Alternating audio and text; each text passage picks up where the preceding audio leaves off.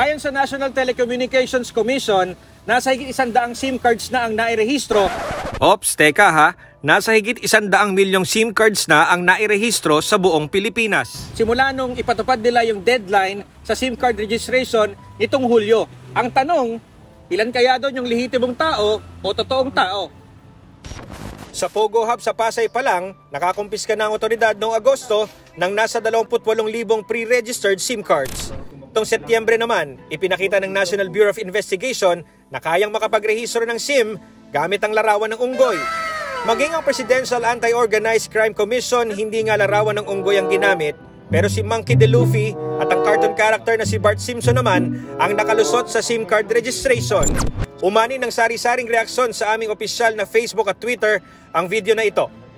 Kaya tingin din ng PAOK dapat na amyendahan ang Implementing Rules and Regulations o IRR ng SIM card registration na nakasalalay sa subscriber ang paglalagay ng mga tamang impormasyon dito. Hindi po nilagay sa batas na ang dapat mag-verify ay ang telco.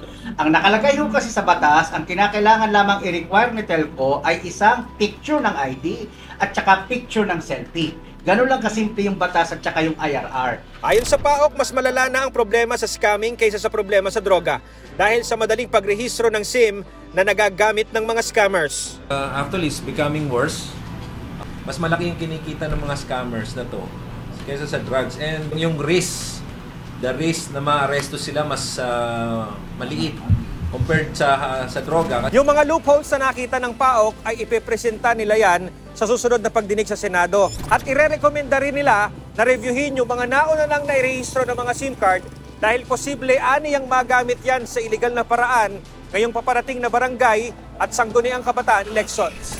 At ang latest, may memorandum na ang DICT at NTC na live selfies lang ang tatanggapin at hindi stock photos pagdating sa SIM registration. Gagamitin na rin ng DICT ang mas pinatibay na Electronic Know Your Customer o EKYC program para ma-verify ang mga dokumento gaya ng ID para maiwasan ang peking registrations at masugpo ang scamming.